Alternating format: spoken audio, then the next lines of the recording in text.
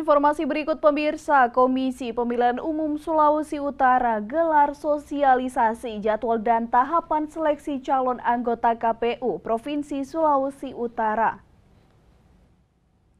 Komisi Pemilihan Umum Sulawesi Utara gelar sosialisasi berdasarkan keputusan KPU nomor 71 tahun 2023 tentang jadwal dan tahapan seleksi calon anggota KPU Provinsi Sulawesi Utara periode 2023-2028.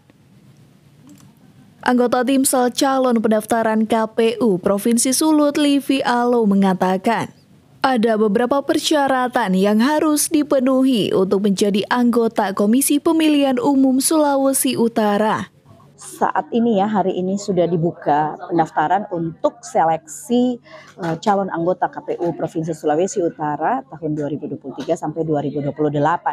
Ada beberapa persyaratan yang wajib uh, untuk dipenuhi oleh calon peserta, tetapi secara garis besar yang pertama adalah warga negara Indonesia, kemudian uh, berusia minimal 35 tahun.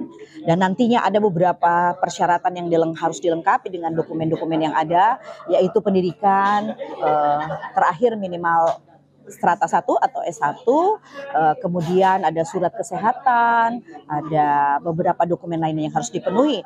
Tetapi yang juga wajib diingat uh, pada tahap seleksi uh, periode ini itu mewajibkan peserta untuk memasukkan persyaratan bukan hanya secara manual atau memasukkan hard copy tetapi juga memasukkan persyaratan itu di dalam aplikasi nama aplikasinya Siakba. Nanti mungkin itu ada penjelasan yang lain lagi ya, eh, di mana mereka wajib memasukkan atau mengunduh dokumen-dokumen yang memang dipersyaratkan eh, di dalam aplikasi tersebut.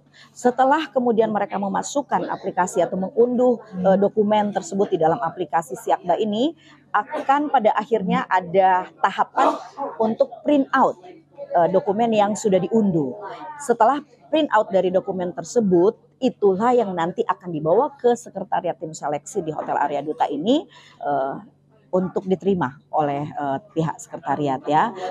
Jadi dokumen itu bukan dokumen yang berbeda. Bukan berarti mereka mengunduh dokumen itu uh, untuk disiakba berbeda dengan yang mereka harus print out lagi dari rumah. Tidak. Yang dimasukkan di sini adalah dokumen yang di print out dari hasil mereka mengunduh di aplikasi. Nantinya akan ada 10 nama bakal calon anggota Komisi Pemilihan Umum Provinsi Sulawesi Utara yang akan dikirimkan ke KPU Republik Indonesia. Tim Liputan Kawanwa TV